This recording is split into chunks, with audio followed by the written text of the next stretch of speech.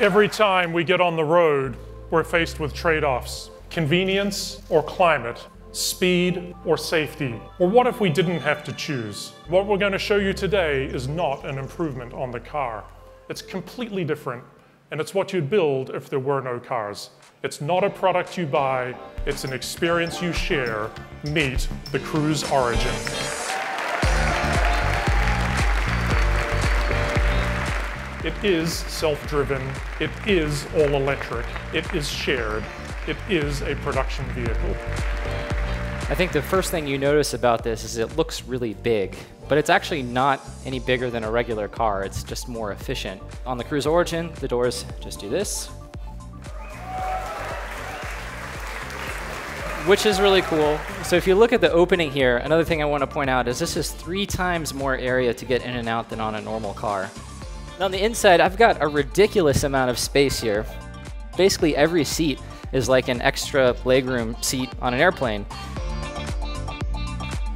This is an engineering prototype of one of our new sensors. We've got two of them on the Origin up front there. It can see things that you won't see, and it'll react faster and more safely to the things that you can see. The Origin can see pedestrians at night, even if they're not visible to the naked eye, and this is just one of our new sensor systems. Just in the last year alone, we accumulated almost a million miles of autonomous driving in San Francisco. And that's a lot of mileage, but what's more important to us is the data that's contained within those miles. If you were to stretch San Francisco across the entire continental US from coast to coast, our AVs would go from one coast to the other without even a fender bender. We have an awesome experience riding in the Origin, as well as superhuman levels of safety, and those are two big parts of the equation.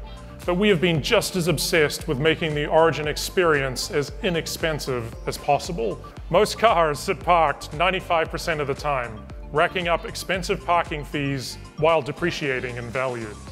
The Cruise Origin will spend most of its life in motion. The Cruise Origin will have a lifespan of well over 1 million miles, and that's at least six times more than today's average car. No doubt what we've laid out here is ambitious, but we're moving as fast as possible to make this happen. And while what you've seen here tonight has been focused mostly on helping people move through cities, this is just the beginning of the origin story